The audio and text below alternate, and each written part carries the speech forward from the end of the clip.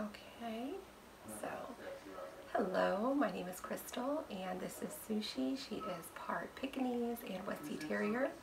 We decided to board her at off-leash canine training because she was a little difficult, could be a little stubborn, and Miranda has taken excellent care of her for the last two weeks.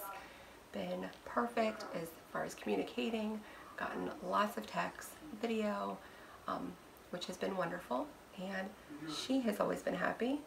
And um, the training in the house the turnover was excellent answered all my questions outside and inside practicing um, I'm very pleased and I'd recommend this to anyone